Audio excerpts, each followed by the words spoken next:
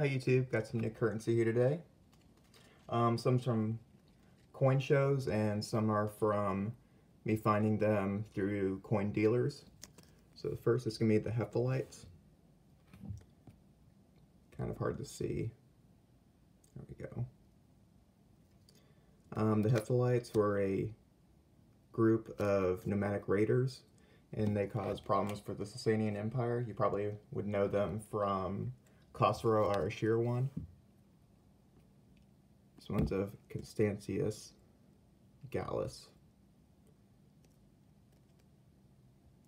Took a while to actually attribute this because some of the legends were worn off, and especially because at this time in the Roman period, um, most of Constantine's sons were had pretty much the same kind of physical appearances in their busts.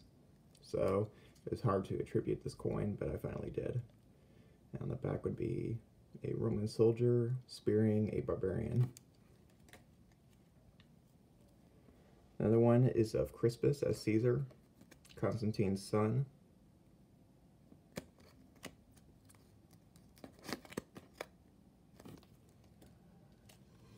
Another one is a Roman provincial coin, struck under Tiberius, but it's a posthumous of Augustus, meaning that they put Augustus's face on the front. However, I really didn't buy this coin for the actual heritage of like a certain emperor, but because I found it so interesting, the um, type of coloring that it had on it. If you can see in the picture, it's got a beautiful blue and purple and sort of gold, silvery um, texture to it, which is really neat. And that's all it has to do with the um, oxidation and um, denaturing of the um, bronze, which is really cool. This one is of Otho. This is a silver denarius. Um, I plan to have this one sent off to NGC and get graded and authenticated. Um, very interesting emperor, lasted only three months, just like Didius Julianus or Pertinax. Um, very difficult to find a very cheap coin of this emperor, um, part of the 12 Caesars. So as of today, well, as long as I send off to NGC and it's approved, but I'll be able to complete my 12 Caesars collection. So Otho. Another one is that I bought from a coin dealer. He really doesn't do anything in medieval coins or any ancient coins. But he said he would let pretty much any of his coins go for about $2, so I bought this for $2. And it took me a couple hours, but I finally found what kind of coin it was. Even though all the hours that it takes to find out which coin it is is exhausting, it's actually pretty interesting to find something that you didn't know about it. I didn't know what this coin was, didn't know what it looked like. Um, I, I could tell by the front and back it was like a dagger and a horseman and some of the legends around it, but I really didn't know exactly what I was getting into. But I was actually pretty surprised and very pleased with what I got. This one is a coin, um, a denier of the Duchy of Lorraine. And I thought that was really cool that I got to have this coin for only two bucks. And I was actually pretty interesting because I was actually looking for a coin from Lorraine. Another one right here is going to be of Lucca.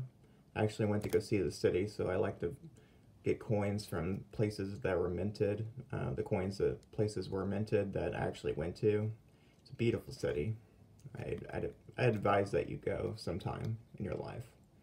Um, beautiful coin. Um, 1658, I believe this is a frozen time kind of coin. Um, 1658 is actually when it was struck, but it's Imperator Otto.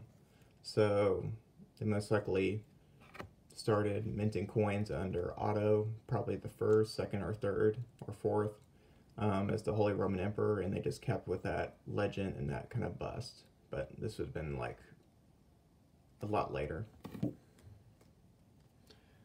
Another one is of Herod Agrippa, or Grip, um, sorry, Agrippa and struck under Claudius. Just nice to have some cool Judean coins. And here's another one of Judea.